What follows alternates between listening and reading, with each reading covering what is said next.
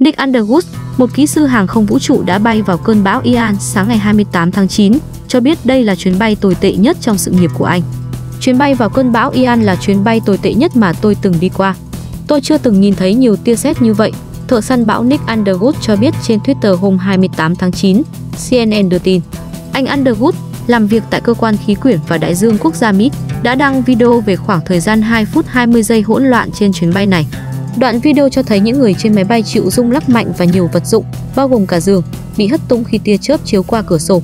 Theo trang web theo dõi chuyến bay Flightaway, máy bay này cất cánh từ Houston lúc 2 giờ 55 phút sáng ngày 28 tháng 9 theo giờ Bắc Mỹ và quay trở lại sau 6 tiếng 45 phút.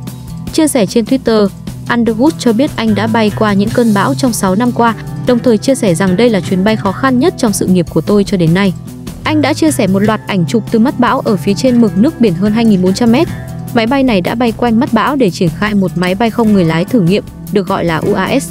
Anh Underwood được giao nhiệm vụ hỗ trợ đưa nó lên và ra khỏi máy bay.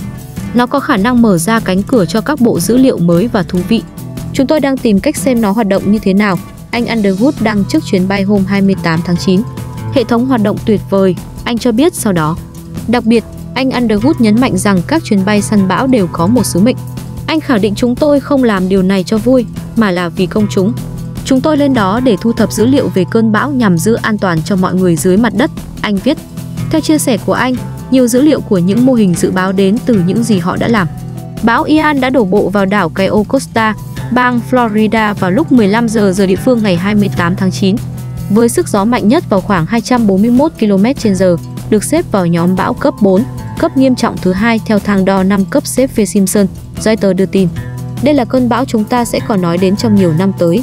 Đây là một sự kiện lịch sử, Ken Graham, giám đốc cơ quan khí tượng quốc gia Mỹ, cho biết.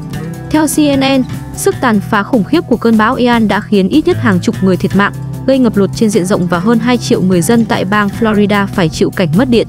Trong bài phát biểu tại trụ sở cơ quan quản lý tình trạng khẩn cấp liên bang tại Washington, Tổng thống Mỹ Joe Biden cho biết số người thiệt mạng vẫn chưa được thống kê cụ thể nhưng những hậu quả do cơn bão Ian gây ra có thể nặng nề nhất trong lịch sử bang Florida.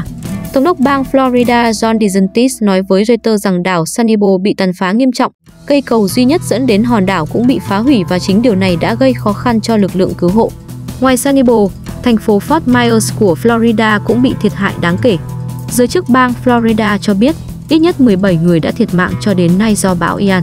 Cũng theo Reuters, tại quận Charlotte, một phát ngôn viên sở cảnh sát xác nhận rằng có nhiều người chết nhưng chưa có con số cụ thể.